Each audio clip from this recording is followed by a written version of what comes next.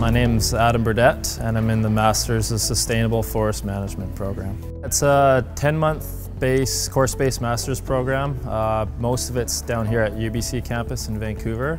Uh, however, a lot of it has been spent out and about uh, southern interior BC in the field, which has been great. We've been exposed to every aspect of forestry. I think uh, this program is definitely a, a, useful tool if you're thinking about becoming a, a, RPF, a registered professional forester. What I like most about the MSFM program is really the variety of learning that we are exposed to. On a weekly basis, we have individuals from all over BC coming in and speaking to us about whatever it is they're passionate about with forestry. I chose UBC Forestry uh, because over the last 10 years of me working in the field, anyone that I've come across, um, they're all alumni from UBC Forestry and they all had very good things to say about it. They all recommend me going back and doing school at UBC, so it kind of seemed like a no-brainer to come down here to Vancouver and continue my education.